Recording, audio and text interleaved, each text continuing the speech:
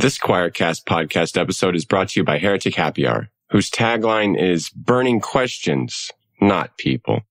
Join hosts Sean DeJaw, December Rose, Dr. Reverend Katie Valentine, Keith Giles, and myself, Matthew J. DiStefano, for a happy hour filled with quality conversation, fine fellowship, and perhaps even a laugh or two. Unapologetically irreverent and crass, yet sometimes profound, we make sure to pull no punches and leave no stones unturned as we discuss the Christian faith. But listener, beware. There will assuredly be some serious sacred cow tipping. If that sounds like your cup of tea, or bourbon, if that's your thing, head on over to heretichappyhour.com to stay up to date with us. And be sure to subscribe wherever you get your podcast fix. Western Christianity has spent the last 2,000 years telling everyone they're separated from God. This is not church with John and Nat Turney. All right, everybody, welcome back to the podcast. Uh, my name is Nat Turney. I'm here with my brother, my co-host, my uh, my bosom buddy, as it were, John Turney. Say, hey, John. Hey, John. Is- Was that uh, you can't see? See, this is when when video would be helpful because as soon as I said bosom buddy, you made a face, like like you don't remember the TV Well, show. no, I, love, man. I do. Uh, am I the Tom Hanks character or the uh, uh was it Peter, Peter Scalaris? Which character Peter- am I?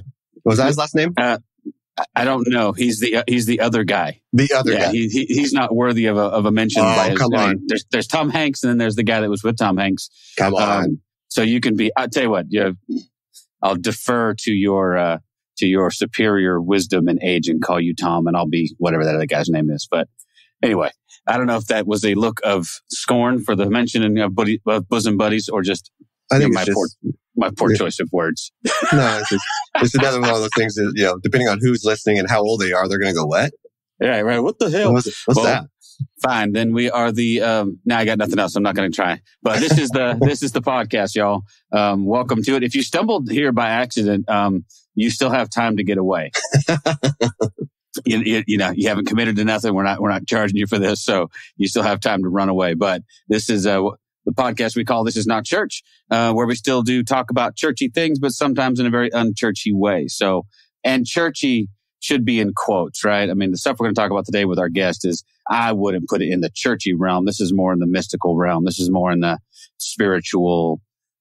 I don't know. Uh, I'll, I'll let Karl d- describe what, what, what we're talking about better than I can. But our guest today is Karl Forehand. He's been with us before. So, um, if you, uh, if you are so inclined, you should go back and listen to our first interview with him, which is several months back.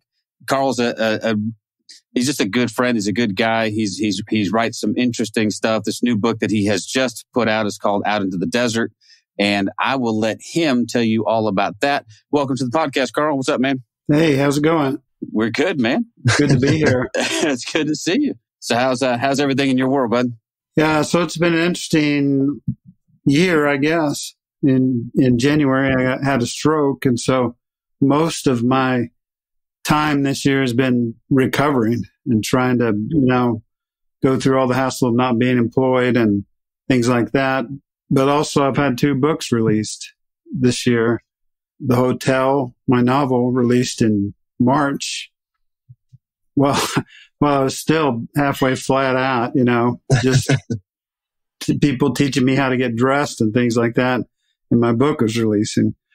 But uh, then the second one is is something Laura and I, my wife and I, wrote two years ago, called "Out into the Desert: Thriving Outside of Organized Religion." We wrote it two years ago, gave it away for a long time, and then uh, reread it when we were going back and forth for stroke recovery, and decided it's still relevant. And when I did the afterword to include the pandemic and all of that stuff, I realized it's probably even more relevant now than it was when we reread it. So that's what's going on with me. Wow. Well, let's uh let's dive into the to the book then. It's interesting. So I can hazard a guess that out into the desert, what what kind of what kind of subject matter deals with what what it'd be better coming from you. So what are we talking about? Leaving the the confines, the safeties, I guess, somewhat, and of, of organized religion, and what wandering out into something a little more unknown. You know, our group has always been called the Desert Sanctuary. And the way we describe that is when you start asking questions, when you start questioning your faith, when you start asking questions about your beliefs, and when you start changing, sometimes it feels like you're wandering out into the desert. And so that was, that was where we started four or five years ago. And probably three years ago, a lady named Cindy Wang Brandt from Taiwan uh, encouraged us. We were already struggling when I came out, when I stepped down from the pastorate about four years ago and just said, you know, while I'm struggling, while I'm trying to figure this thing out, I can't be a pastor. I can't do this, this, I can't, you know, I would question like the issue of, uh, should I bake the cake, you know, for a, a person. Uh, so I started doing that on, on stage in the pulpit and, and wrestling with it real time and, and people about lost their, their minds. We, we were right. never pushed out of a church or asked to leave or anything like that. But I just got to the point where I couldn't do it anymore. I couldn't, you know, make these transitions where my church probably wasn't going to come with me. And um, so I stepped down. And so, but while I was doing that, I attended Brian Zahnd's church. Nothing wrong with Brian's church, but uh, we went there for two years. I think in my mind, I'm thinking, uh, how do I fit myself back into that? How do I, you know, how do I work myself back into ministry with this new set of beliefs? And it just, Laura and I would get in fights on the way home. Because we're, we're still struggling with, you know, every time we walk into church, we're triggered. There's still things that weren't working for us. And so about that time, after those two years passed and we decided to kind of step out, Cindy Wang Brandt encouraged us to take a full year off and, and evaluate it. And so somewhere around that time is when we started kind of blogging about the issues in this book and trying to take an evaluation of organized religion. How does it work in the 21st century? Is it, is it something that's viable? Are we addicted to church? Would Jesus go to church? How'd the church run our sex life and things like that? So those first 10 chapters are that, that over whatever period of time, Laura and I sat down together and evaluated those things. And, and just, you know, to be honest, and not to, not to bash the church, not, but, but there's, there's things like community. So we're, we're hardwired for connection, but is, is the church viable community or is it folk community? Do we really, you know, we hobble into church with a, an emotional needing. Do we really find that healing within the walls of the of organized religion, or does organized religion does the organization always come first? So anyway, the first step was to evaluate those ten or twelve things, and, and as we were doing that, our stories came out, and so it was a good thing for us. It was healing, but the stories went into the book, and then the last half of the book became, you know, are we faking ourselves out? Are we really thriving out here or are we not? Is this really working? I used a kind of a fresh look at the Beatitudes to kind of help foster that because I've always loved the Sermon on the Mount. It's always been dear to me and, and those teachings of Jesus that I didn't, I never gave up. I didn't want to give up. But all that kind of came together in this book and we're really, really proud of it. We held on to it for a while, gave it away, and now uh, decided to release it as a beautiful cover, if nothing else. and doing yeah. well, doing well yeah. on the. Yeah, yeah, you are. The book is doing well. Yeah. Yeah.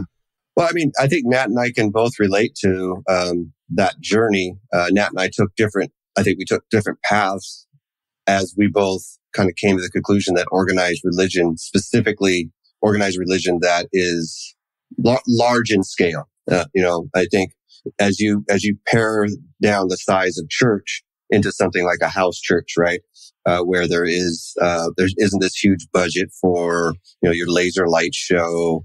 Uh, you don't have to have the, the multicolor three fold handouts. Uh, you don't have a staff of 25.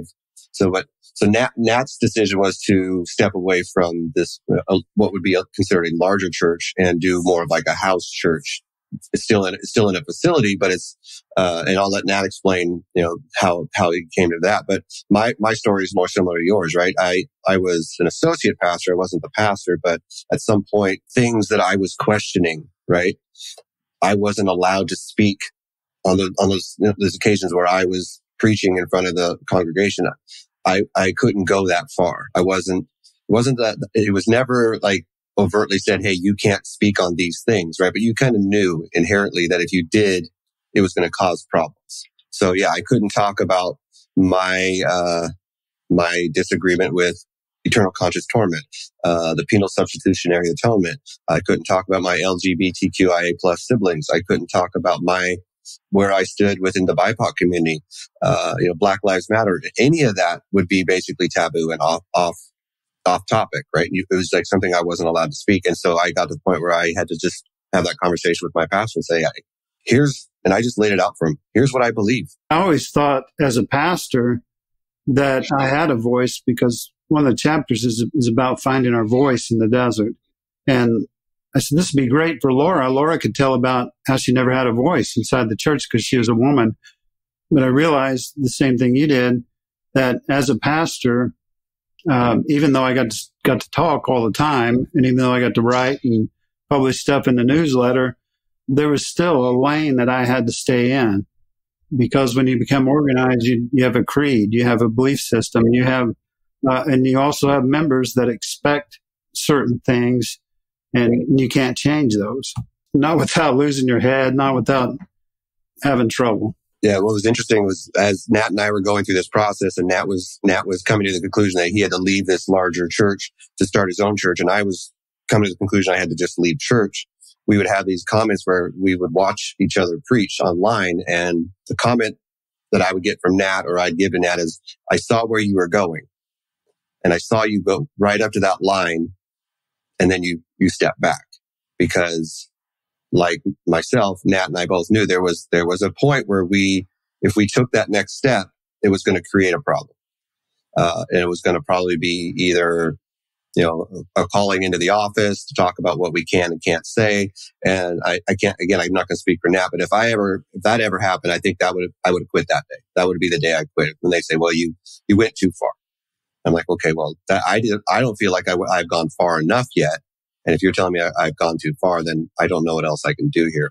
But I'm speaking for Nat over and over again. I'll let Nat speak for himself. No, that's a, you, you, you're, you're familiar enough with my story that you can. Um, yeah. And to be honest, Karl, I don't know. If, I'm not sure where you are. I'm not anywhere yet. I'm still, I'm still trying to figure out if any of it's worth a shit, to be honest with you. So the, something that you, something that you said right off the bat really resonated. And it's actually something I'm working on right now talking about is this notion of of a counterfeit community that we've created. This semblance of community that really doesn't bear any of the real hallmarks of actual community. So if this has been your experience, it's, it's been mine. I mean, there's, it, it's, it, there's a lot of dishonesty that goes on in there. You know, there's a lot of my censorship was self censorship only in the sense that I knew that if I said certain things, I was going to be called out for it. Now I was never explicitly told, don't say this or this, or this but I knew, you know what I mean? It was, it was communicated in other ways. So I self, I self censored in the, just, just to avoid the problem because who needs it? But there was no, you know, there was no real ability. We, we gave a lot of lip service to being transparent and being, you know, being authentic and being, those were the buzzwords that we all use. But in practice, in reality, there was not very much of that. I, th- I think the performance was in giving lip service to the fact that you could be transparent here. Oh, you can come here and you can be real and you can be raw. Well, yeah, to a point you could. And so that's my, my, my misgivings with institutional religion is, is all of the institutional stuff that goes along with it. You know, and I don't, you know, you may avoid some of that, I think, in, in a, in a smaller organization like mine, where I, I think it's, so in my case, it's, it's more of, of my inability to uh, to gather a crowd. So I'm fine with that. I have a very small church. it speaks more to my failure as as a pastor than anything else. But but I don't have any of the I don't have any of the pressures that come along with you know a large congregation that has expectations. I don't have a staff to pay. I don't have you know massive expenditures for facilities. So Um, what I have right now is as close to house church as you can. That's not literally meeting in a home, but it's still that same vibe.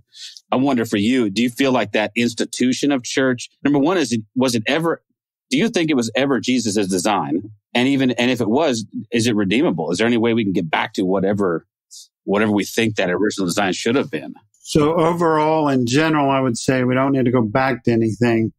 We need to create something for the 21st century. But um, I would say, you know, all evidence says that for the first few hundred years of the church, they they were informal.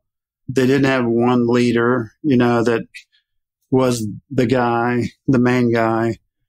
And then uh, Constantine kind of came along and joined us back with the state and with the empire. And then we began to have one person on stage, bigger buildings, more institution, and so on. So I think I think there's evidence, you know, from the beginning that it was it was more like a family. It was more like a, a body. And, and that it, it it acted real organically, but it's almost impossible in the way we've designed it for it to work that way anymore. You know, 70% of the money goes to uh, buildings and, and salaries. Most of the time goes into producing the show on Sunday morning. All of the energy is directed that way. And when people say, wait a minute, what about this? When they, or when they say, this is a deep hurt I have, it makes us uneasy and we do things like spiritually bypass that.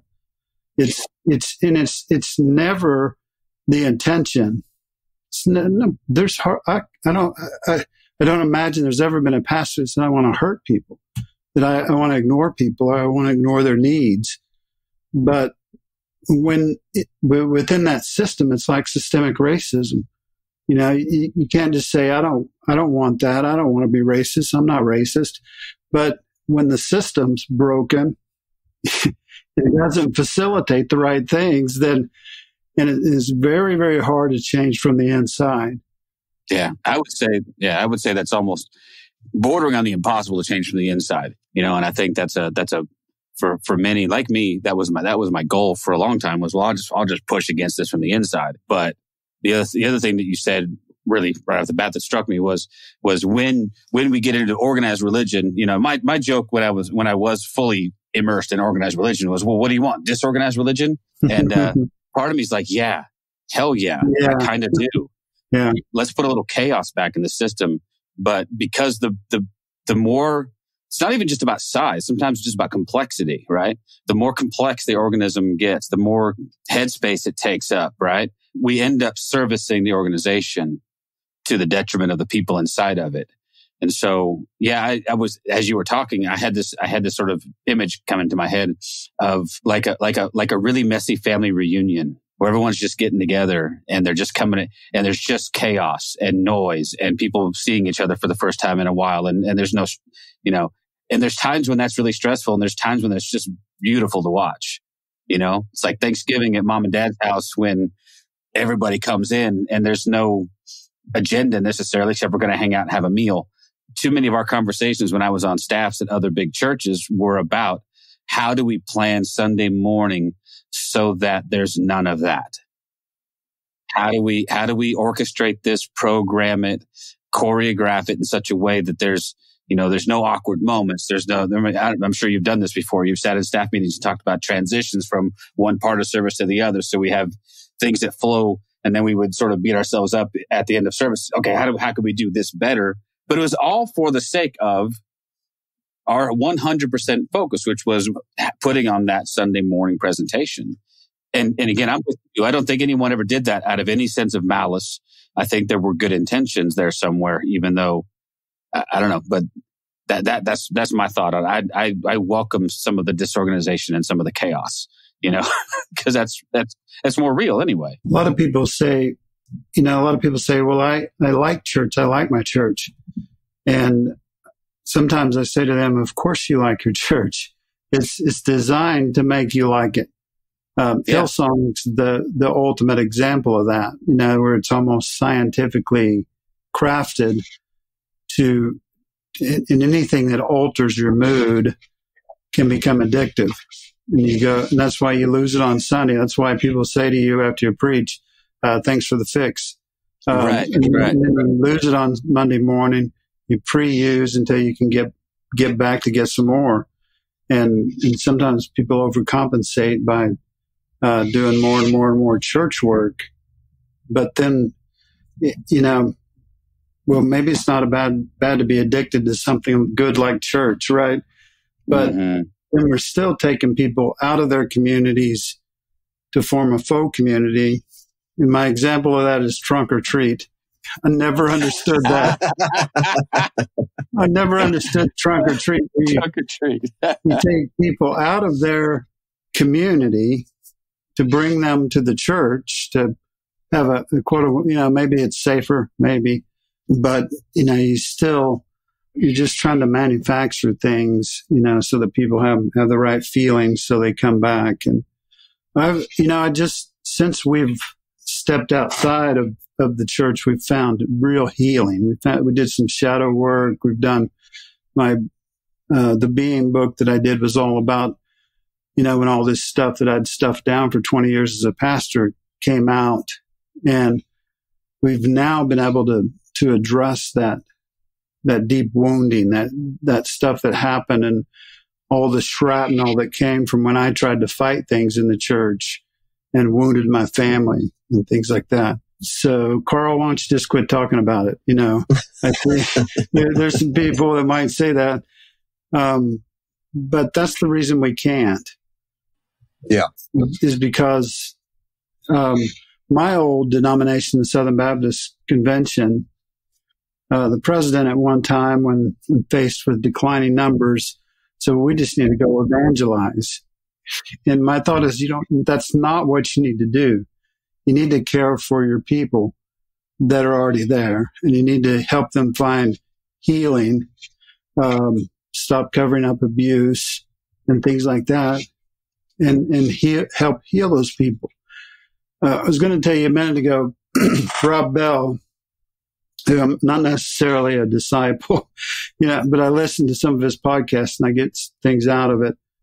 One of the things he, he has a uh, podcast called, uh, it was called the Robcast, but then there's an episode called um, A Fish Standing Next to the Ocean. And it's it's in, you know in his style it's like an hour long explanation of a 10 minute uh, discussion he talks about this fish uh, standing next to the ocean and looking out over the ocean and last year i got to see florida for the first time and saw the saw the ocean and, and got to recognize all that rhythm and beauty and everything there is to, to appreciate about the ocean and that's kind of what he was talking about. But he said, you know, the fish while he's in the water doesn't see the water because he's too close. Mm. And he doesn't have, he doesn't have the right perspective. And just for us, it wasn't until we stepped outside, you know, and, and got that perspective to where we could see all the things that happened to us and all the things that need to be changed if it's going to be viable in the 21st century. And I, uh, I get emotional when I start talking about this, but the way, you know, after the pandemic and Trump and all that stuff that happened in the last two years, we wrote an afterword and my, my conclusion at the end was this, you know, I don't even like to say reconstructing because it's none of those analogies are good enough. Um, they just don't work. I like the word evolving. And my conclusion was kind of along these lines. Why don't we just concentrate on evolving?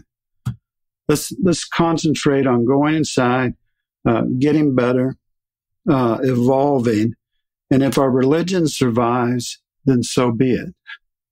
If it doesn't survive, then maybe we never needed it anyway. Maybe it was just a man-made attempt to try to bring things under control and make them where they would turn out like we wanted them to. Um, maybe we don't need it at all. Uh, you know what? The, the the further down the rabbit hole I go, the more convinced I am that we don't. You know, and that's why as soon as you said, um, I don't even like to talk about reconstruction anymore. I'm with you. John and I talked to, uh, Bayo Akomolafe not too long ago. And I still think about that conversation we had with him. And one of the things that we talked about with him was our propensity to leave something in order to arrive someplace else. And he called that the tyranny of coordinates, um, which I just still think is a, just a beautiful phrase.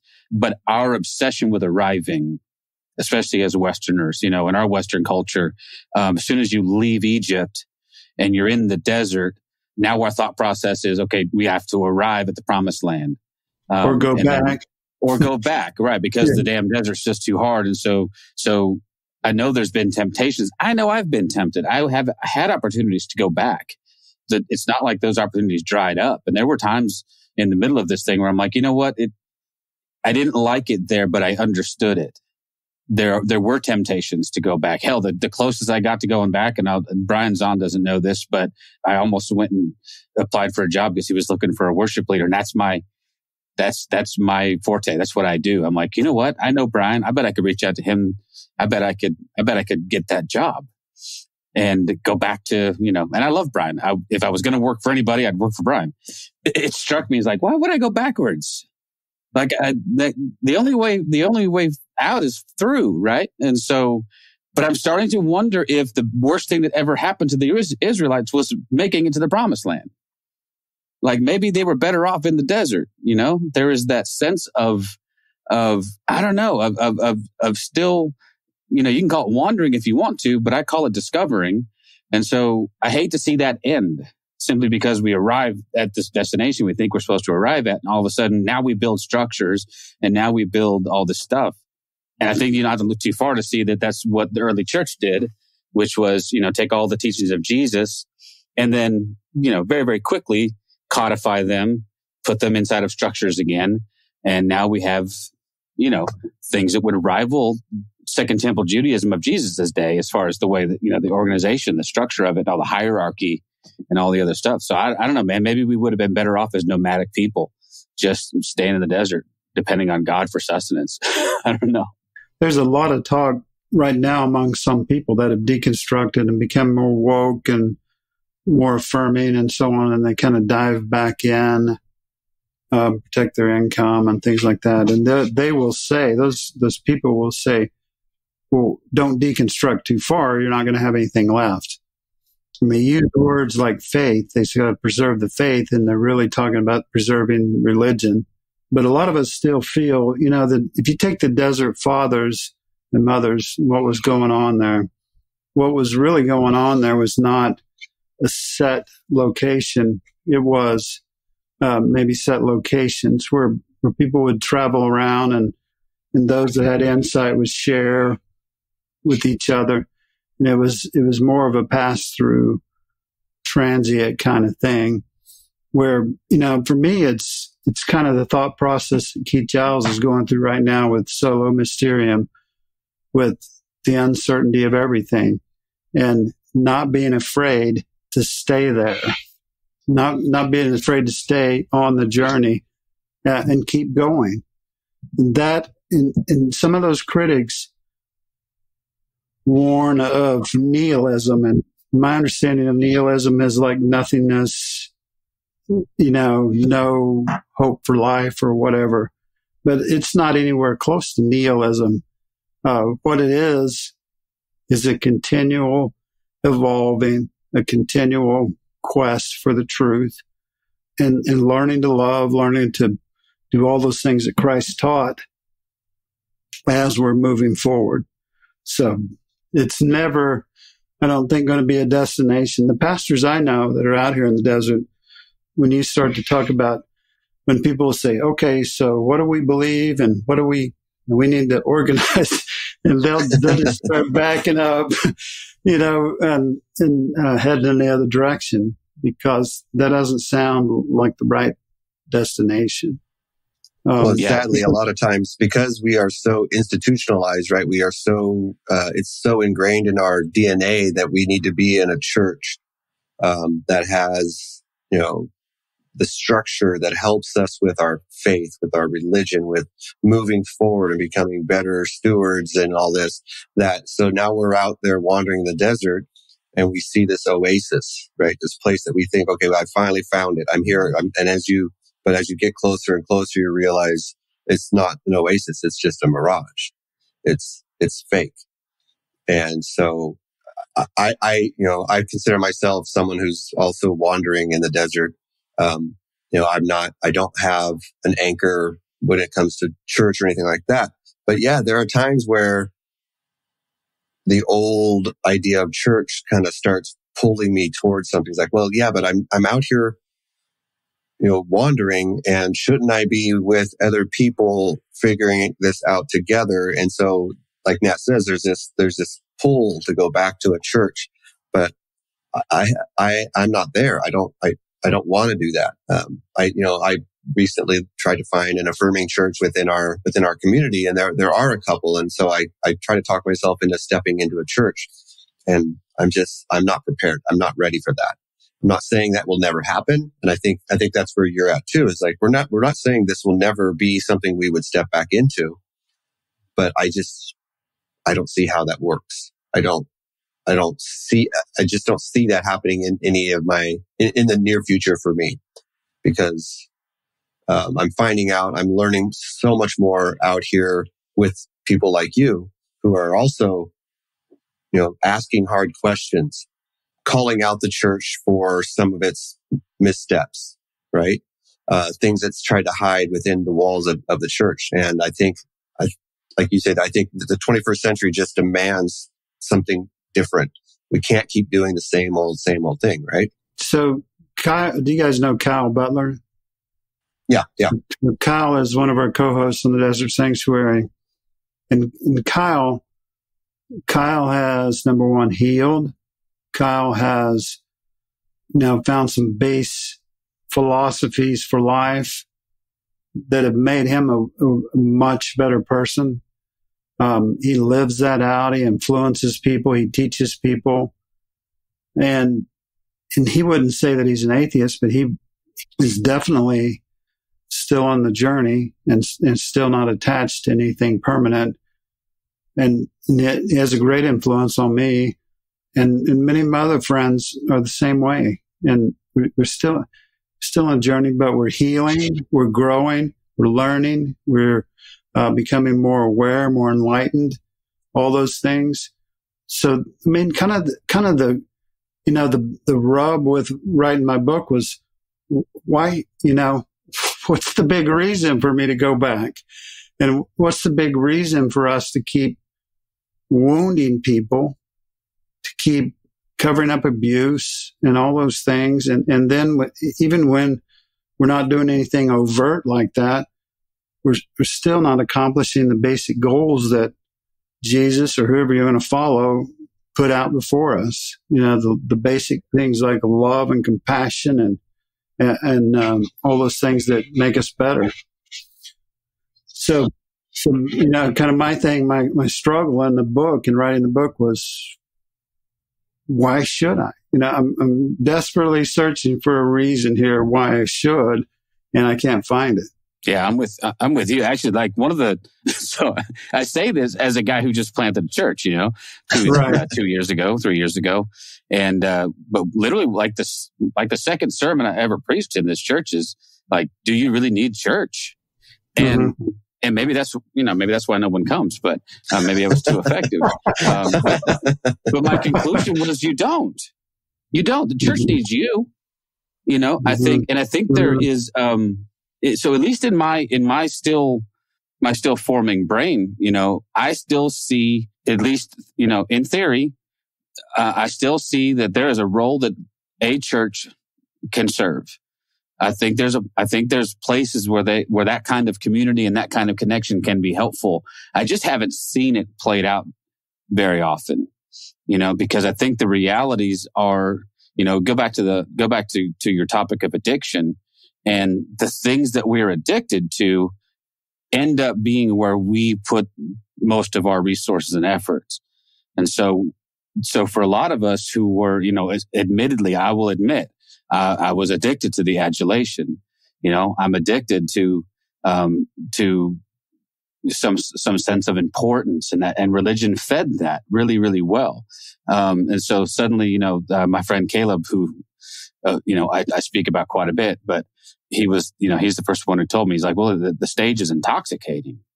So I had to get off of it because, because that platform, no matter how big or how small it is, still, it still feeds that addiction. Um, of notoriety and you still want people, you know, looking to you for certain things. And so, yeah, I just don't know. You know, that's, that's why I'm, I'm starting to feel like this, this pull towards more uh, like a more nomadic kind of faith experience. It says, okay, it's willing to say stuff like Kyle would say, which I think he would say uh, at, at his best days, he's agnostic. Yeah, I remember talking to, I think Michelle Collins put it that way. She's like, you know, most, you know, some days I believe in God, some days I don't. And that was, she had friends who were uncomfortable that level of uncertainty, but she was just being honest. You know, man, there's days when I just don't believe at all. I'm a guy st- who stands in a pulpit, you know, who, who preaches every other Sunday basically and says, I think this is how it looks, you know? Um, but I'm willing to admit to you, there are some days I'm not sure I know a damn thing. So I don't know. I, to me, there's a level of honesty there that I think that the kind of religion that John and you and I grew up in does not allow, right? That kind of, that kind of transparency that says, I'm not even sure I believe any of this stuff. Um, but there is something compelling about this person of Jesus. There is still something that pulls me into the story that I, I have not managed to let go of entirely. Right? Does that make sense? Yeah, it does. And so right now, Laura and I just last night, you maybe if you could you can see if you could read my whiteboard that's behind me. Yeah, I can see um, it. I can't read it, on, but I can see it. On top of it, it says it says Oasis. You know, mentioning the desert, and underneath it, it says uh, well, it says the Oasis Network, and in the subtitle is um, for for deconstructing ministry workers and spouses, I think is what it says. Not very good at reading backwards. So, so, you know, right now at this very moment, that's something we're considering is there's, there's so many pastors, pastors' wives, pastors' husbands, and so on that just need a, somebody to talk to. Another guy we both know, Jason Elam, he and I did so many podcasts together over the first couple years that it, it was just therapeutic to us, even just to do the podcast. And so, but then you go, you say something like a, a network of pastors and ex-pastors and, and so on. And well, how do we organize that is almost the first question. Like, oh no. And here we are. and yeah, there's a certain, certain purpose.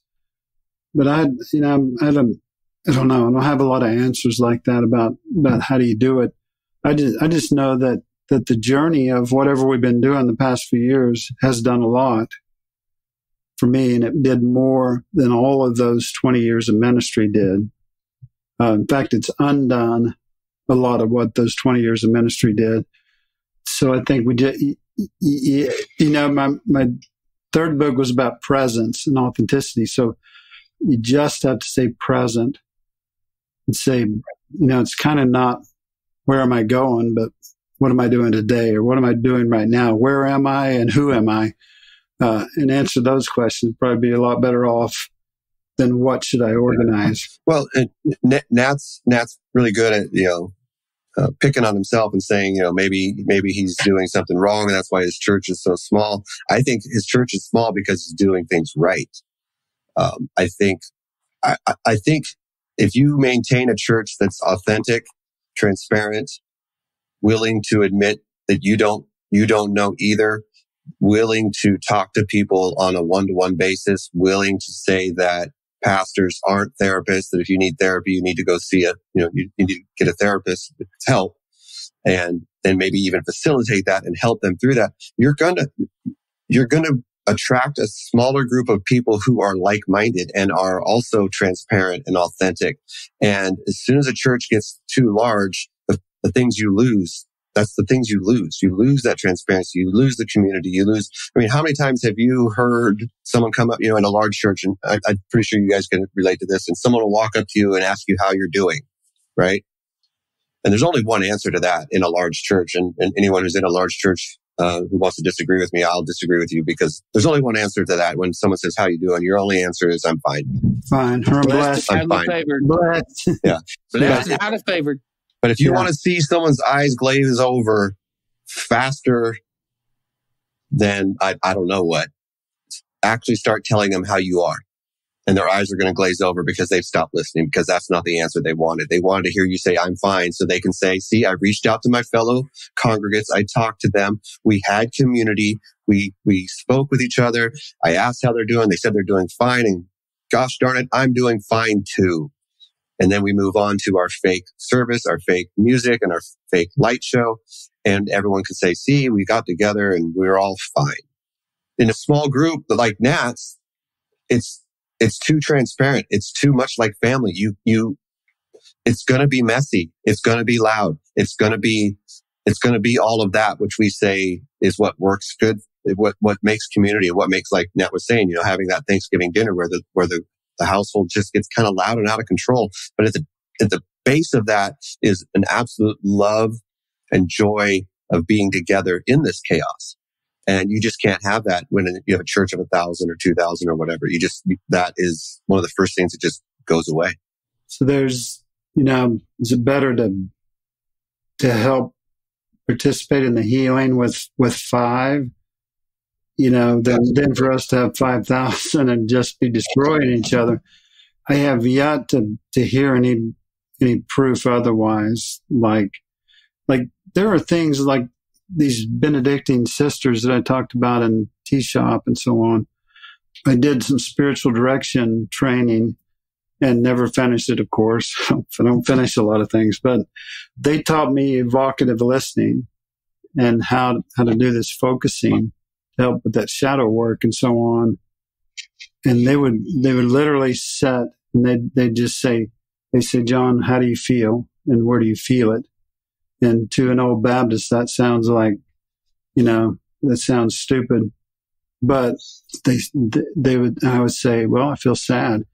And they'd say, uh, where do you feel it? And I'd say, I feel it right here. And they would say, so you feel sad. And that's all they would say. And then they would listen and they'd wait for that, that connection with that part of us that my church told us to ignore.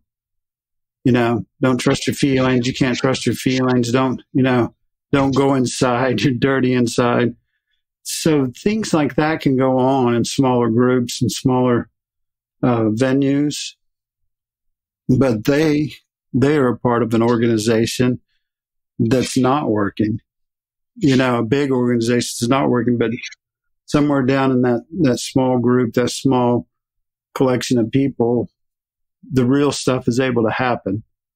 And so, you know, I I know that even in even in big churches, even in you know, real institutional type churches, that there's still some good stuff going on. I'm not denying that, but it's, Yeah. it's small and it's usually the contemplative side of it. Yeah, but they're having to compete with all the other stuff, right? Um, exactly. they're having, you know, they're they're have they're being drowned out by the. It, it's really interesting to me that you know this is all anecdotal on my end, so take that for what it's worth.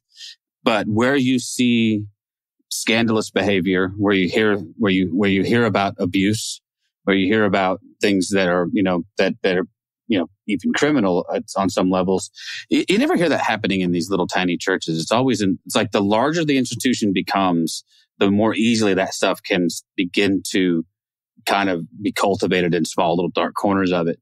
I say that today as news is breaking that Matt Chandler is stepping down from his pulpit after some inappropriate stuff went on between him and, and another. So I've got, you know, Hillsong's about to, you know, they've, they've had their massive scandals. You've had these, these institutions that have set themselves up as sort of paragons of virtue. Meanwhile, there's this stuff smoldering. Now, I'm not saying that stuff doesn't smolder in smaller. Of, of course, it probably does. They're human institutions. They're going to be full of human frailty and stupidity, but it does seem like those kinds of things that I don't know. It just seems that those those those kinds of larger institutions seem to foster that a little bit easier, or at least be able to kind of go undetected for longer. And then, if you have something as large as the Catholic Church that has the you know the wherewithal and the means to, to really, really hide this stuff. And, you know, because of how much they have to lose and how much is at stake, they'll go to extraordinary lengths to paper over abuse. Um, well, we, we've just seen that also with the SBC, right? SBC is the, the next one to, and I mean, the, the, what they have hidden from what my understanding is 700 pages of lists of people who have abused someone within their church, right? Sexually or physically or whatever, right? 700 pages, not 700 people, 700 pages of people. That is enormous. That is, that is, that is, a, that's on conspiracy level. I mean, not, not meaning that this is a conspiracy, but they, they had to conspire to hide this. This had to be too many people knew and kept it quiet. And, and, and it's just, it's sickening. And this is, I think we'd all agree, you know, organized religion at this level and when it becomes this big, it, it, it has to protect itself. It has to maintain its own importance and it has to hide this kind of stuff or it's going to fail. So if, if Nat has, you know, has 10 people, five to 10 people, I don't know how many, but let's just say you have five to 10 people. Um, you guys are listening to each other. You're, you're making time for your, Sarah Bessey said the church doesn't have room for my grief. And yeah, if you make, make room for each other's grief, you make time for each other, you listen to each other, you care for each other, com- have compassion for each other, then, then healing is going to go on there. Growth is going to go on there. And, and that's enough. The, the, we don't need to, to grow bigger to prove something. What we're going to do, I think, out here in the desert is we're going to prove to those institutions that they're unnecessary. And when, when they get that news, they're not going to be happy about it at first. That's true. But the evangelical church has already declined significantly and another 6% after the pandemic. It's, it's just going down. When I, when I look back at all my old churches, the, uh, we were pastor at three churches. No, whatever. They never forced us out. They, they uh, might have got upset with me a couple of times, but we left. Uh, but most of them don't talk to us. But almost all of the the young adult and youth that grew up and, and evolved past those churches, most of them don't go to church anymore, and most of them still are my Facebook friends uh, to this day. You know, most most every single member of every one of those churches never spoke to me again when I left. Right. But all of those all of those kids are still listening, and yeah they're evolving and they're they're doing fine. Uh, I can't hardly think of any of them that you know had a serious misstep. They're all growing, evolving, becoming better human beings, and and they'll they'll do fine in this transition. But there's there's some middle age, upper middle aged people that are going to fight. I say, you know, you got to they're going to pull the religion out of their cold dead hand, just like the, their handgun. You know, it's it's going to be a battle. Yeah, but you've seen that already, haven't you? I mean, I, I, have seen, you know, and and as as we get further down the road with this thing we call deconstruction, and I, I think you know we're probably getting near the end of the usefulness of that term. I get it. That's fine. Uh, we'll come up with the next term at some point that'll mean pretty much the same thing. But I had seen that's how I could, that one of the ways I could tell that this was going more mainstream was how more, uh, how, how much more vocal, how much more vocally against it some people had come out, you know, and all of a sudden you have, you have people writing books. You have Alicia Chalmers, whatever her name was, um, you know, writing articles about it and top 10 ways you can know if your, you know, your, your pastor's deconstructing or woke. They start to paint these caricatures of people like us from the vantage point of someone who has never once, it seems like seriously questioned their faith. And, and, I, and I'm to the point in my life, and Karl, you may be in the same place as I am, but I, I don't even trust you unless you've had at least one major crisis of faith. You know what I'm saying? like if you, if, and if you're 20, you, you probably haven't, but you know, I'm, I'm just getting to the point where I'm, I, you know, the only thing that triggers me anymore is people who are really certain. And then I just know you're full of shit.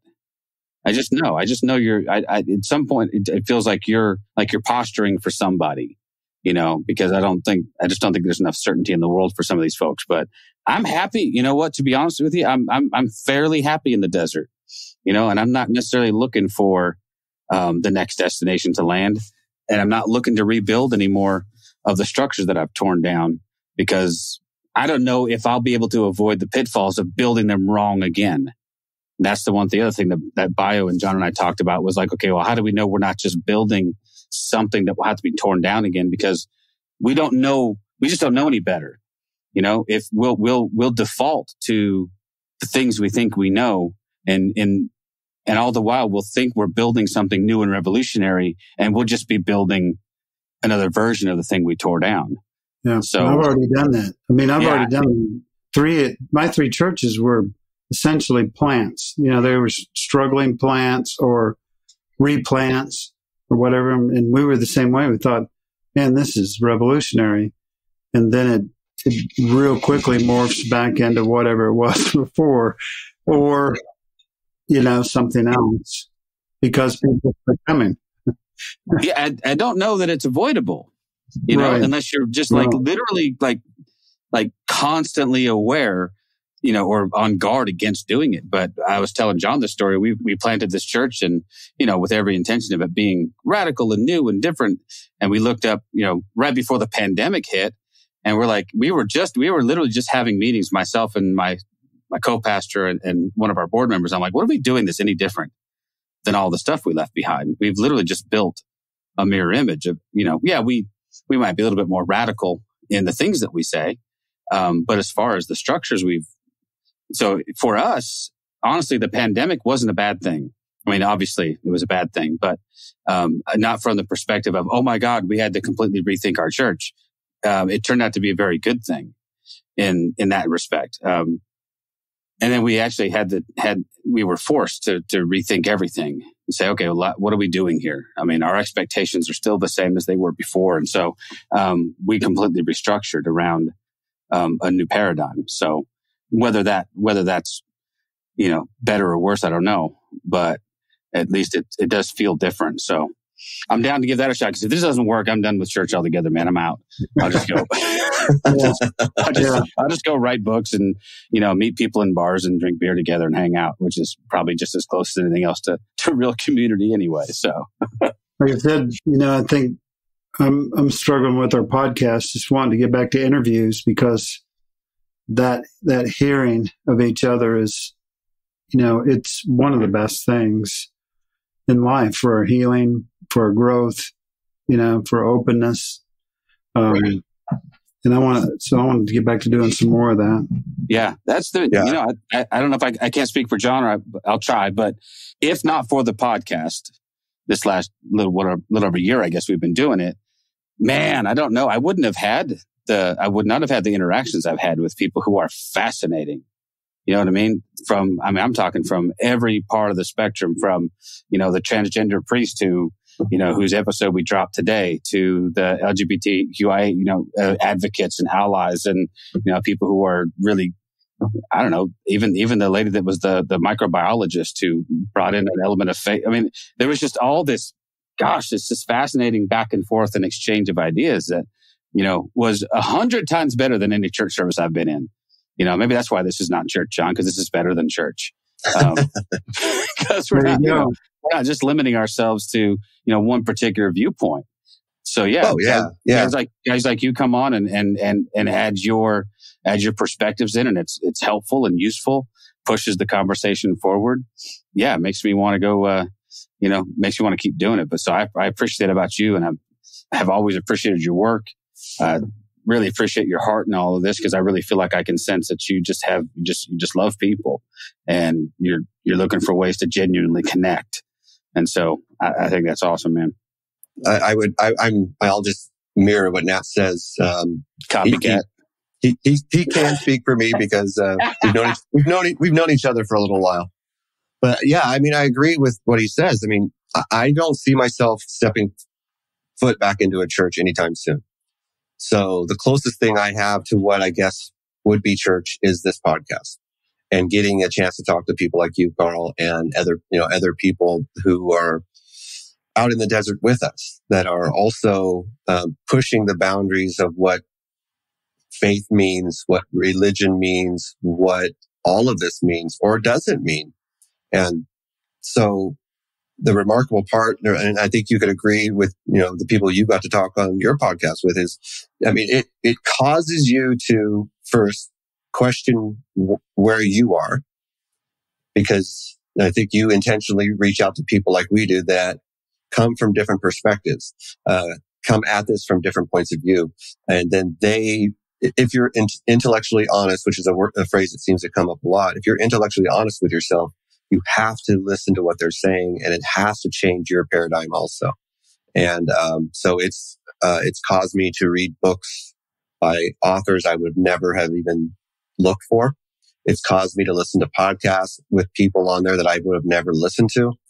And it's caused my, my faith or this journey to blossom into like the cover, you know, these desert flowers, right? Uh, of your book, these, these flowers that bloom in the desert, even though this is a, a, a supposedly a scary, arid, dry place, but then this beauty, you, you walk up onto this beauty in the middle of this desert. And that's what this, I think what this journey is. It, it shows us each step is a step towards beauty, towards love, towards a better understanding of community. And I applaud you for speaking out and writing these books on it. I, I, I really do. Next time we have you on, Karl, we need to have Laura on too, though. I feel like I we're only agree. getting half the story, man. So let's Yeah. let's schedule another podcast with you guys, and then have bo- have, have you both on, and Yeah. uh, we we get her agree. perspective as well. Or have her on by herself and let her, Yeah. because she, she's got the real story. And Either way, man, we're down. We uh, as always, man, we love we love talking to you. Uh, you've got more than one book on on out there for sale, but the two most recent ones, Out of the Desert, and the other one was called Seeing. Is that right?